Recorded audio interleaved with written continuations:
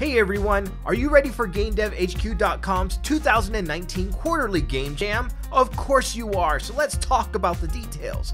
The jam will begin on Friday, March 8th at 6 p.m. Eastern Time and will end Sunday, March 10th at 6 p.m. Eastern.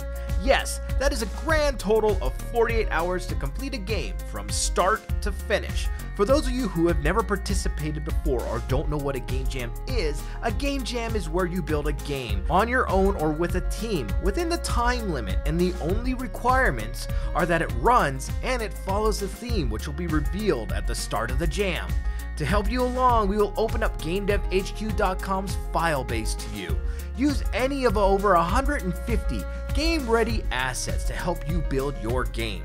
There will be no prizes this year, everyone is a winner. We will glorify your work to the world, and the greatest reward is that you prove to yourself that yes, you can build a game within 48 hours. So tune in on Friday when we will reveal the theme and the process to upgrade your account to Pro.